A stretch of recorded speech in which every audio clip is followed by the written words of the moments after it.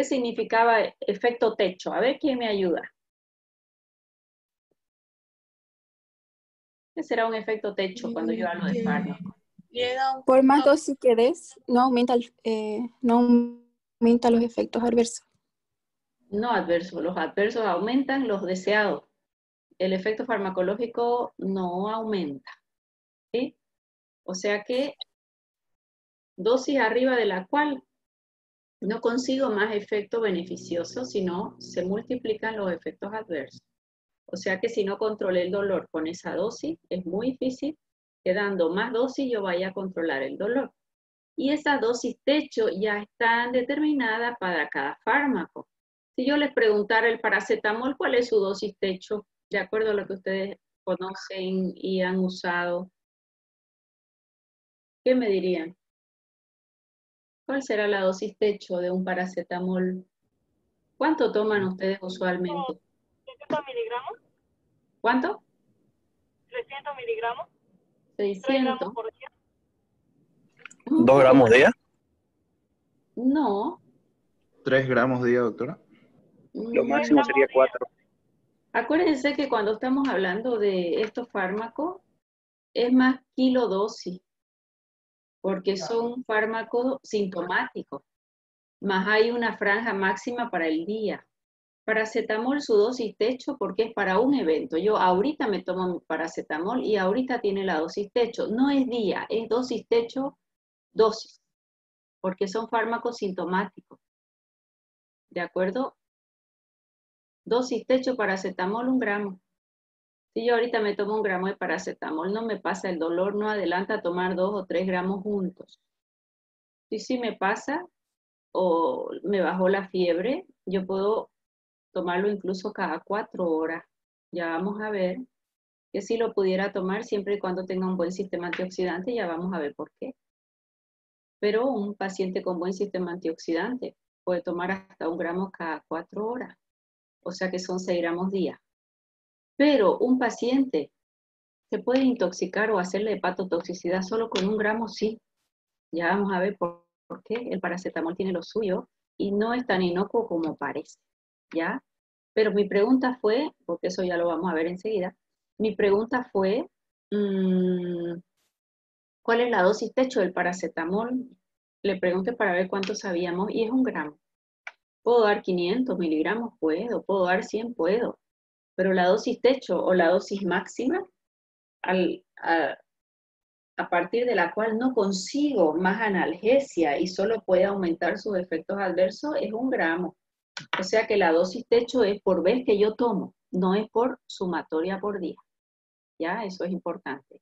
Y de una dipirona un dioxadol es una marca comercial, pero por ahí la conocemos más como dioxadol, aunque es dipirona o metamisol. Son, los dos son sinónimos. ¿Cuál será su dosis techo? Dos gramos. Un gramo en vía oral y dos gramos endovenoso. ¿Ya? Dos gramos juntos endovenoso. Por eso viene dipirona simple y dipirona fuerte. ¿Ya? 2 gramos, perfecto. Entonces, esos son los parámetros a tomar en cuenta para ver cómo nosotros vamos a ir haciendo nuestro manejo de dolor. No logré controlar con esa dipirona los 2 gramos juntos. No adelanta dar ningún AINE a ese paciente y tendré que ir a un segundo escalón. ¿Quién recuerda quién era el segundo escalón en este manejo de dolor? Analgésicos de acción central, doctora. Ya, los llamados hipnoanalgésicos que además de quitar el dolor, tienen una acción hipnótica central y además de la acción hipnótica, pues lamentablemente son depresores del sistema nervioso central y pueden ser depresores del centro respiratorio, más ellos se caracterizan por no tener techo.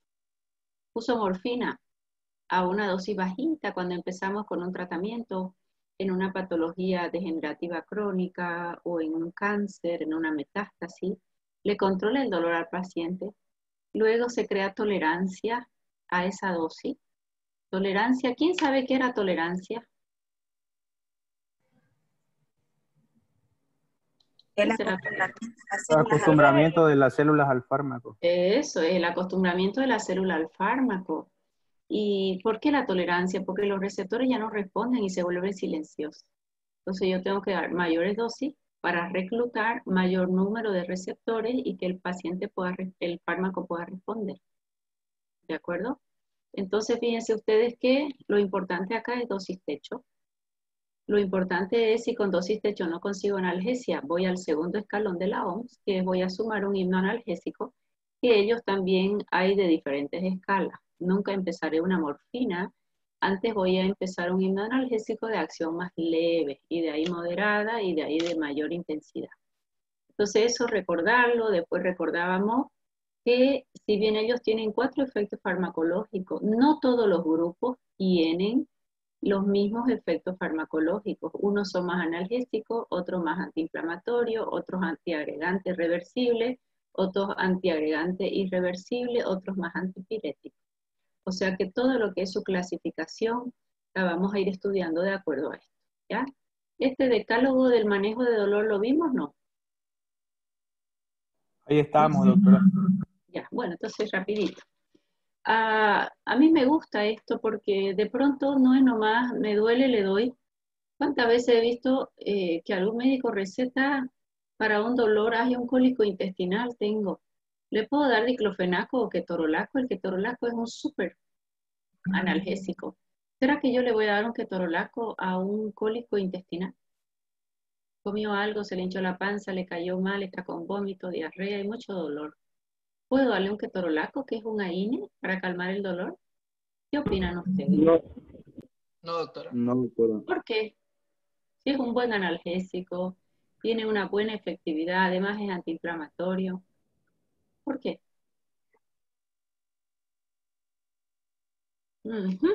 A ver, pensemos. ¿Por qué? ¿Por qué y qué le darían, capaz?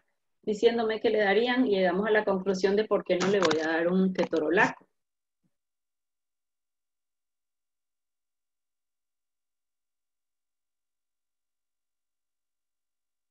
Vamos, ¿qué le voy a dar a un cólico intestinal? Y han dado examen de eso.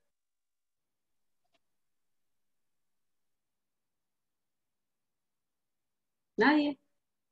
¿Un antagonista? ¿De quién? Un antagonista parasimpático mimético. Antagonista muscarínico. Antagonista muscarínico. Muscarínico, para, ya no sería parasimpático mimético, es un antagonista parasimpático o un antagonista muscarínico, claro. Droga tipo atropina, todos los de ese grupo. Hay algunos con mucha selectividad para músculo liso de intestino sin tener efectos centrales como la atropina. Lo que quiero es que el músculo liso se relaje. Más esto no va a relajar la fibra lisa, está contraindicado, hace gastritis y va a aumentar la producción de ácido clorhídrico.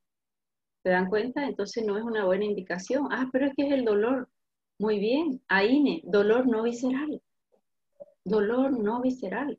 ¿Y qué dolor no visceral? Dolor de cabeza, una metástasis ósea, un dolor dentario, la cefalea incluso en los primeros estadios de migraña, si no hay que dar un antimigrañoso, dolores articulares, dolores musculares, un postoperatorio, para ese tipo de dolor, más no para un dolor visceral. Pero yo les decía en la anterior clase que hay un grupo que tiene una característica particular, además del mecanismo propio de los AINES de inhibir ciclooxigenasa, también relajan el músculo liso, probablemente relacionada con una liberación de óxido nítrico, probablemente, esa es la hipótesis. Ah, y ellos sí pudieran servir para un dolor visceral, como un cólico renal principalmente, o un cólico biliar. No son de primera línea, pero sí pudieran servir. ¿De quién estoy hablando? ¿De qué grupo? De la dipirona. De la dipirona, muy bien, son aspirazolona. La dipirona tiene ese extra, ¿ya? Más el, ella es ah, relajante de músculo liso, no por el inhibir ciclooxigenasa, sino por esta otra mecanismo de acción que es el que se propone. Perfecto, entonces elegir el fármaco según el tipo de dolor. No es que para cualquier dolor doy cualquier fármaco. Para un dolor visceral doy un antagonista muscarínico. Para un dolor óseo, un dolor articular, un dolor muscular, doy un AINE. Si con una AINE a dosis techo no consigo controlar el dolor, pues voy a tener que aumentarle un hipnoanalgésico. Sin embargo, hay algún tipo de dolor que se llama dolor neuropático, probablemente relacionada con la desmielinización, o sea, disminución o devastación de las fibras de mielina, muy característico en pacientes diabéticos no controlados. En ese caso sí se puede dar una INE, pero lo que más funciona ahí es un bloqueante de canales del sodio, como son los anticonvulsivantes, como una pregabalina o una gabapeptina. No es AINE, pregabalina y gabapeptina son anticonvulsivantes, cuyo mecanismo de acción es bloquear canales al sodio. Si yo bloqueo canales al sodio, no hay quien me vaya en cada punto, el potencial de acción se va conduciendo. Y si yo bloqueo canales al sodio y el potencial de acción es por entrada de canales al sodio, entonces estoy bloqueando la conducción dolorosa. Por eso bloquea la propagación de una convulsión.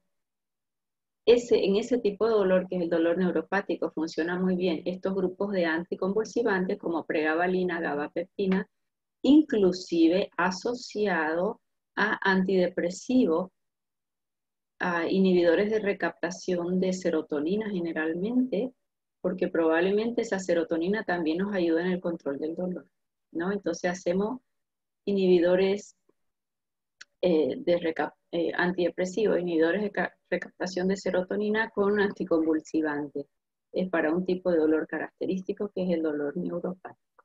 ¿ah? Bueno, entonces elegir según el tipo de dolor. Dolor visceral antimuscarínico. Estos otros tipos de dolor voy a elegir una INE. AINE dosis techo, punto.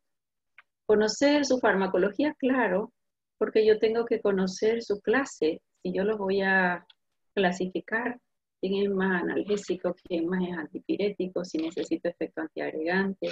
La duración del efecto también es importante. Si yo voy a elegir para un dolor crónico, paciente con una metástasis o con una artritis reumatoidea ya muy descontrolada y le quiero dar todos los días el analgésico, aunque no es una conducta tan adecuada, pero el paciente tiene derecho a no tener dolor, pues no voy a elegir uno de semivida corta.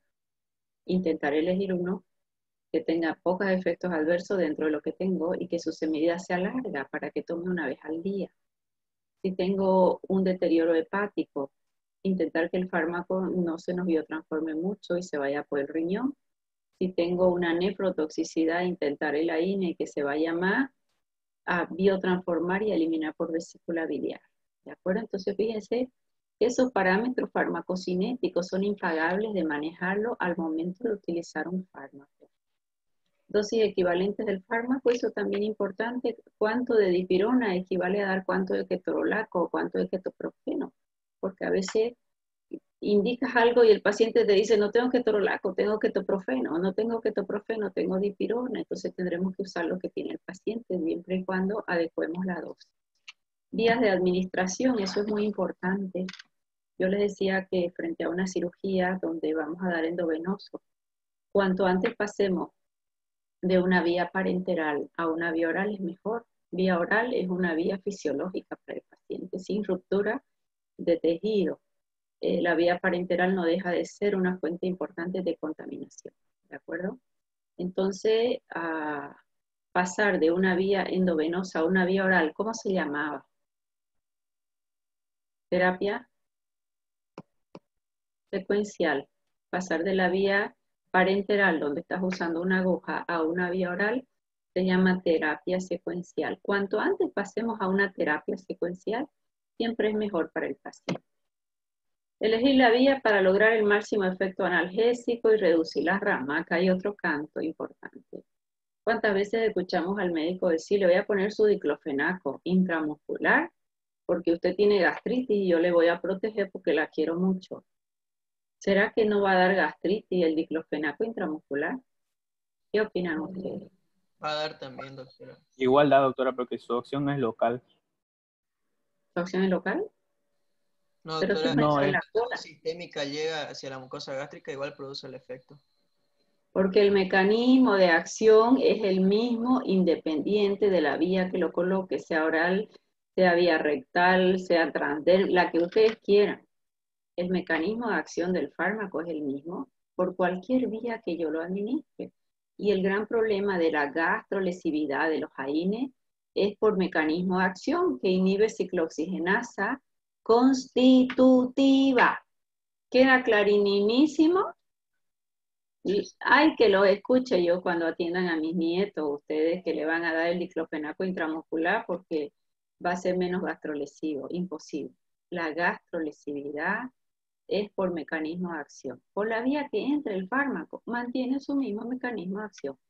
¿Queda clarinísimo? Sí, doctora. Ya lo Sí, doctora. Ok, ojo.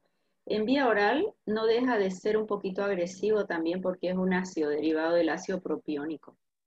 ¿Ya? O sea que es una agresión extra. Que si ya yo tengo una gastritis tras que lo tomo, siento ese malestar es porque el fármaco agredió mi mucosa. Ni siquiera se ha absorbido, pero agredió.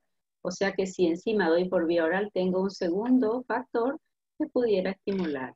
¿Cuánta gente te toma una aspirina y la que tiene gastritis y tras que llegó al estómago le molesta porque es un ácido?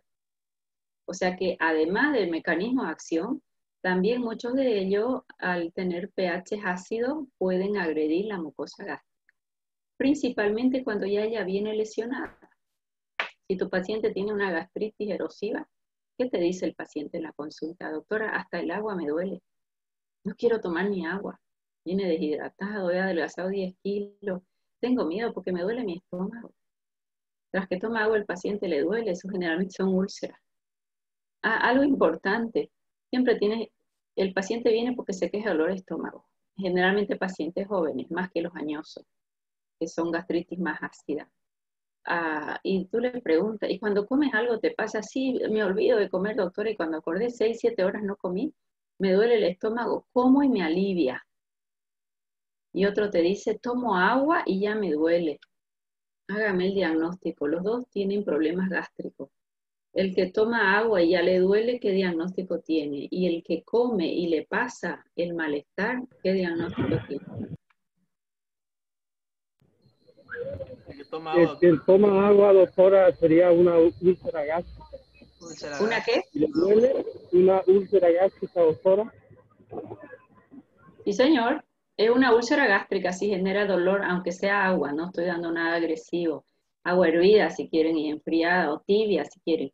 Ese normalmente tiene una úlcera, probablemente, ¿ya? Y el que come y le pasa fue porque hizo un ayuno muy prolongadito y hay mucha acidez gástrica. Entonces, comió y neutralizó la acidez gástrica y le alivió. Ojo, una gastritis no controlada va a llevar a úlceras, claro, con todo derecho. Y las gástricas son más dolorosas, las intestinales generalmente son indoloras. Y si de pronto las heces del paciente salen negras como alquitrán, no porque comió remolacha, sino negra tal cual como alquitrán, significa que un- hubo un sangrado alto, ¿ya? Hubo una úlcera que ha podido eliminar sangre, ha sangrado y por eso las heces ya llegan digeridas, por eso son negras. En cambio, cuando la sangre es roja rutilante, normalmente ya no son úlceras, hay que buscar otra causa por el diagnóstico, unas hemorroides, fragilidad capilar, un divertículo, otra, otra causa, ¿de acuerdo? ¿Quedó mejor eso? Sí, doctora. Sí, doctora. Administrar de forma regular, eso se da cuando ha habido una agresión al cuerpo y estamos intentando calmar el dolor por la inflamación o cuando había una cirugía. Acá esta recomendación es principalmente para un postoperatorio. Si ha habido manipulación, ha habido liberación de prostaglandinas, ¿va a haber dolor? Sí. A veces los cirujanos escriben y dice PRN, póngale por razón necesaria. ¿Será que voy a dar un analgésico por razón necesaria un postoperatorio? No. ¿Por qué? Porque hubo manipulación y tiene derecho a tener dolor el paciente. Y una vez el dolor desencadena, ya es más difícil controlarla. Ponle 48 horas a horarios analgésicos. No esperes que le duela al paciente. Si el paciente siente dolor y recién le van a poner analgésico, el, el familiar llama a la enfermera, la enfermera le llama al médico, tiene, compre, no compre, vaya, venga, pasaron dos horas y el paciente dolorido, colocas el fármaco, ya se instauró el dolor, ¿se controla? No, Así, no, muy difícil. En un postoperatorio, acostúmbrense a poner horario, por lo menos 48 horas. Después de 48 horas ya le deja por razón necesaria y puede Y cuando pongan PRN en una, en una historia clínica, una indicación, tienen que poner PRN hasta cuántas ampollas por día. Ah, dice PRN la enfermera, pero ya le coloqué a las dos- 8 de la mañana y son las 4 de la tarde. No, no dice cuántas, el doctor no le pongo. Y ahí es la discusión, ¿no? Porque el criterio es lo que menos hay a veces en algunos servicios. Si pongo PRN, hasta 3 ampollas por día. Ideal PRN, ¿cuándo? Después de 48 horas. Claro, el cirujano opera y se va. ¿Para quién le queda el rollo? ¿Para el interno? ¿Para el médico de turno? El pobre paciente sufre. La idea es que si él no entra a cirugía no tenga dolor postoperatorio, si tenemos fármacos, es simplemente manejar los fármacos de forma adecuada. Utilizar combinaciones de analgesia aditiva. ¿Qué significa? ¿Cuántas veces nos vemos en la historia clínica dipirona, más diclofenaco, más ketorolaco en un paciente? ¿Será que yo puedo asociar dipirona, diclofenaco y ketorol? ¿Adelanta en algo para que realmente no tenga dolor el paciente? No. Mismo mecanismo de acción, tienen efectos techo, los tres son gastrolesivos, los tres son nefrotóxicos. ¿Tiene sentido? No. Deje uno, el que usted elija. Si hay más dolor o más inflamación, deje uno solo, un ketorolaco 60 miligramos si es joven el paciente y no tiene antecedente de gastritis, o dipirona 2 gramos, o ketoprofeno 200 miligramos. Pero no le, no le sume a ese ketoprofeno un ketorolaco o una dipirona, no use uno a dosis techo. Y lo coloca en su historia clínica. Si no se consigue controlar analgesia, se puede administrar de hipnoanalgésico cual un clocidol, una pentazocina, ¿cuál? Esa es una verdadera control. No, es que le va a deprimir la respiración, no. Porque tengo hipnoanalgésicos de acción leve y moderada, que una sola dosis no va a deprimir a nadie. A no ser que venga la enfermera y se lo coloque a chorro. Ni siquiera stat, ¿verdad? Rápido, no, a chorro. Claro, es un shock de velocidad que lo puede hacer cualquier fármaco. ¿De acuerdo? Entonces, fíjense que le van a adicionar al paciente que tiene dolor. Elijan un solo fármaco, dosis techo. No consigo. Voy a aumentar el himno analgésico. Evitar combinaciones que aumenten sedación sin aumentar analgesia. Bueno. ¿Tengo que adelantarme a los efectos secundarios? Sí, ya los vamos a revisar enseguida. Revalorizar la naturaleza del dolor, eso es importante. Si el dolor es por cirugía, pues han roto la doble capa lipídica y lipoxigenasa. Entonces, ¿qué le tendré que dar al paciente? O si es por una metástasis, o si es por una estimulación del músculo liso, un cólico, no le puedo dar un AINE, tendré que dar un antimuscarínico. Prevenir y tratar supresión aguda, ya respetar individualidad. Bueno, uh -huh. estas recomendaciones me gustan. No utilizar conjuntamente dos fármacos con mismo mecanismo ácido. Esto lo quiero taladrado en la cabeza de ustedes. A veces está dipirona y ketorolaco, digamos. Y uno pregunta por qué. Y dipirona por la fiebre, efectivamente. El ketorol no va a bajar la fiebre. Ibuprofeno no es espectacular bajando la fiebre. Y podemos usar dipirona para como antipirético, más no es un buen antiinflamatorio. Es buen analgésico, no antiinflamatorio. A él sí pudiera aumentarle un antiinflamatorio, pero dejando una dipirona de un gramo, no de dos. ¿De acuerdo? Entonces ahí es la única, el único momento en el que sí a la dipirona la pudiéramos combinar con un antiinflamatorio. No me encanta, pero se puede hacer. Bueno, eh, no combinar dos antiinflamatorios entre sí. Y más abajo dice, me estoy adelantando de tema, dos opioides. Opioides son los derivados de morfina. Y a veces dicen, ah, el ketorol no mejoró, el, el, ketorol, digo, el clocidol eh, no mejoró la analgesia, le voy a dar otro opioide más. Y le dan una pentazocina y resulta que dos opioides juntos en muchos casos son antagónicos. El poco efecto que había desaparece. Y el paciente está a grito de dolor, entonces le ponen morfina. Y si tiene pentazocina, que es un hipnoanalgésico, y ponen morfina, son antagónicos también. Y voy a usar pentazocina, que es un hipnoanalgésico muy usado. Nunca deberé combinarlo con otro opioide. ¿Por qué? Porque solo es fantástico. Combinado con otro opioide, Se caracteriza por ser antagónico y él se comporta bloqueando receptores opioides. Es un efecto dual antagónico. Pocos fármacos tienen esos efectos. Fíjense qué interesante, me estoy adelantando un poquito, hay analgésico. Doy solo pentazocina, es un buen himno analgésico, controla el dolor muy bien, de cualquier naturaleza, de cualquier naturaleza, visceral, no visceral, el dolor que quiera, y no tiene techo, excepto el dolor del miembro fantasma, que ya hablaremos de él. Esa pierna que le duele al paciente que no tiene pierna, y es por el tema de dermatomas en la médula, y a nivel de medular, ¿ya? Ah, entonces, estos opioides tampoco es que puedo alegremente sumar uno, otro y otro, ¿no? Porque resultan ser antagónicos. La vía de elección, ok. ya, aquí quiero llegar. Vamos a ir clasificando nuestros AINES.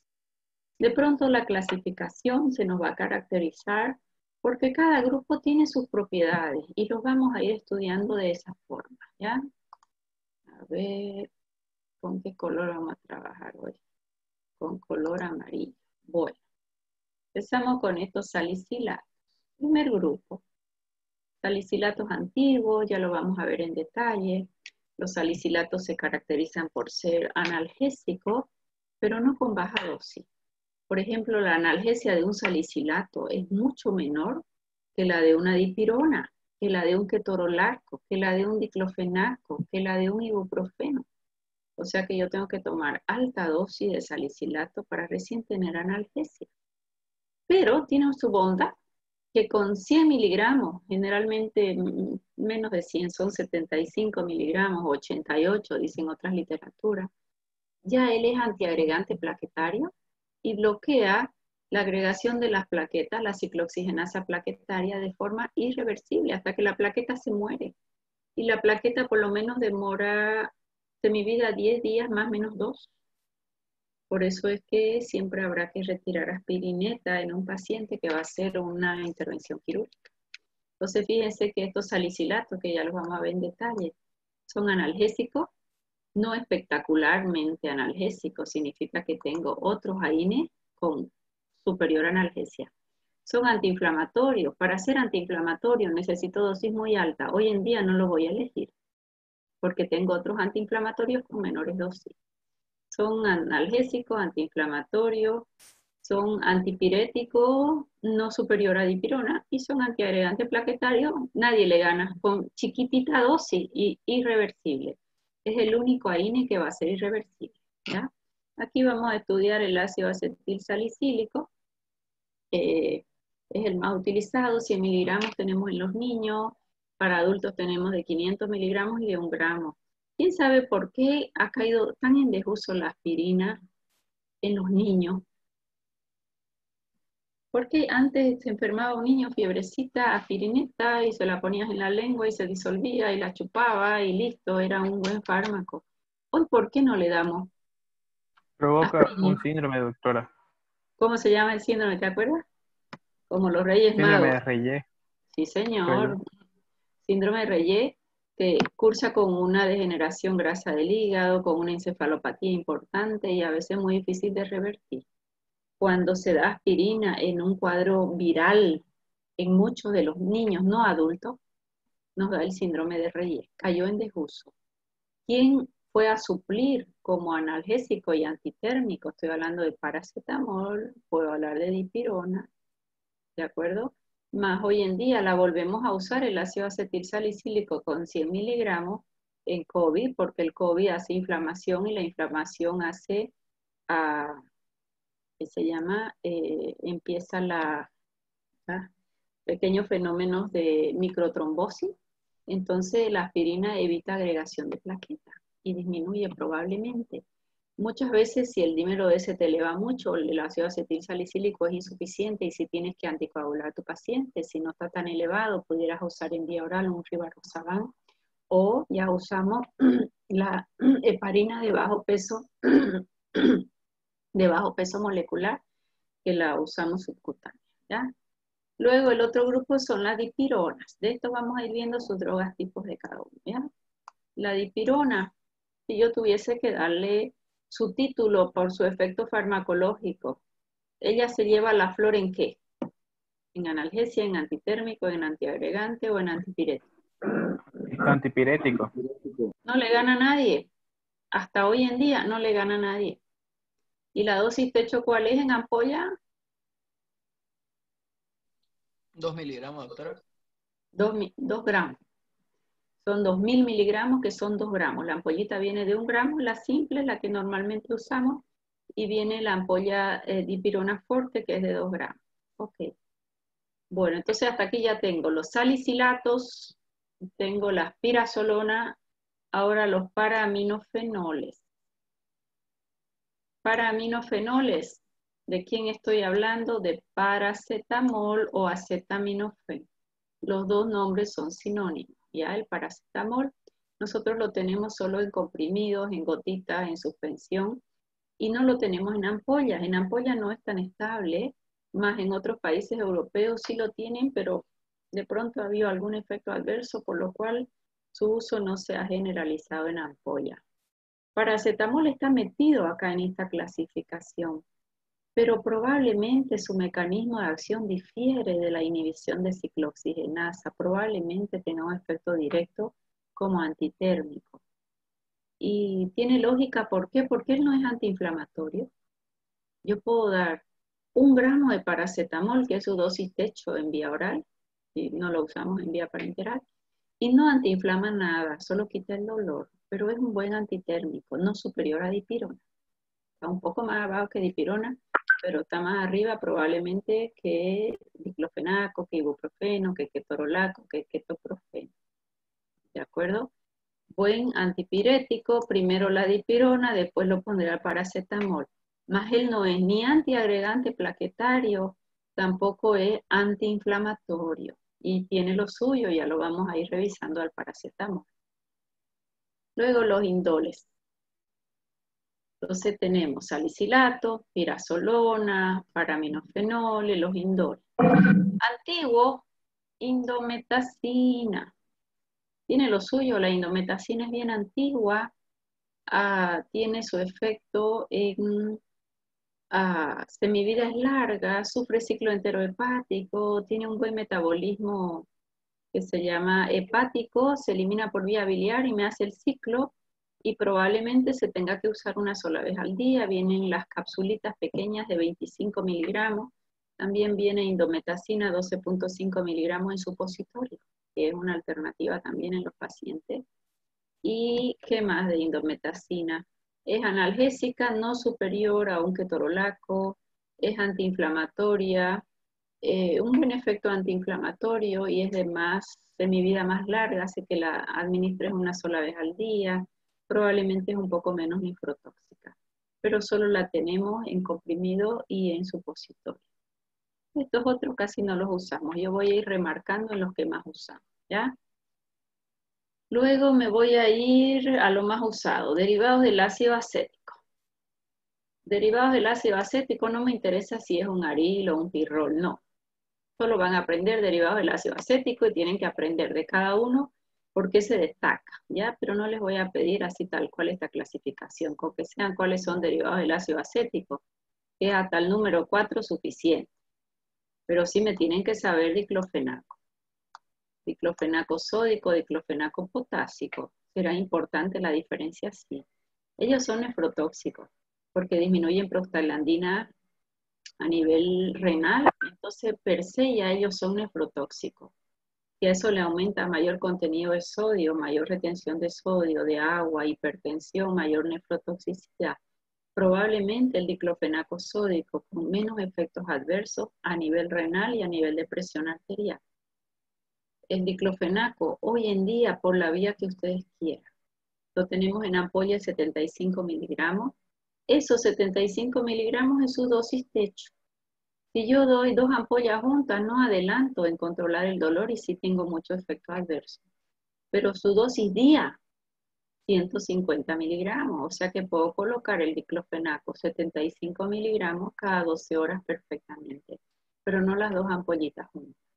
Su semivida nos permite colocarlo cada 12 horas si es en ampolla. En comprimido lo tienen para la forma que ustedes quieran. Comprimidos biodispersables para chupar para los niños de 12.5, hay de 25 miligramos, 50 miligramos comprimidos, 100 miligramos, liberación sostenida. Ese de 100 miligramos voy a darlo en todo el día. En día oral, esa es su dosis techo. ¿De acuerdo? Significa que más de esa dosis no voy a conseguir más analgesia y sus efectos adversos sí se me van a magnificar. En gotitas para niños, en colirios oftálmicos también al 2%, en gel para colocar sobre la piel con un ligero masaje también tenemos diclofenaco, o sea que fíjense, por la vía que ustedes quieran administramos. Am, eh, decir, supositorio de diclofenaco también existe. De aquí me voy a ketorolaco. Uh, el ketorolaco es un analgésico fantástico. Lo tenemos hasta sublingual con 20 miligramos porque es muy liposoluble, su acción es rapidísima, el paciente lo ama, pero también si colocó sublingual, rápido controla el dolor y rápido se va, entonces el paciente tiende a autoadministrarse. Y el ketorolaco no se recomienda usar más de tres días, porque tiende tres a cinco días si el paciente es un poco joven, por la elevada gastrolesividad y está asociado mucho con sangrados digestivos.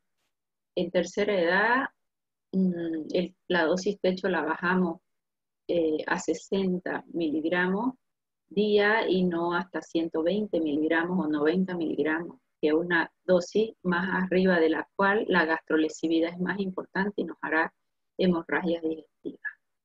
Eh, casi no usamos. Acá es el diclofenaco y el ketorolaco. En los, uy, se va a cortar en cualquier momento, ya, cinco minutos y volvemos.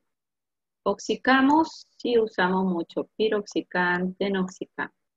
El piroxicam es el que más, no, el meloxicam. Este meloxicam. Meloxicam tiene su característica. ¿Cuál es? Él es más inhibitorio de la COX-2 que de la COX-1. Por lo tanto, es menos gastrolesivo, menos microtóxico, tiene semivida larga para ser administrado una vez al día, eh, sufre intenso metabolismo hepático y se nos va a sufrir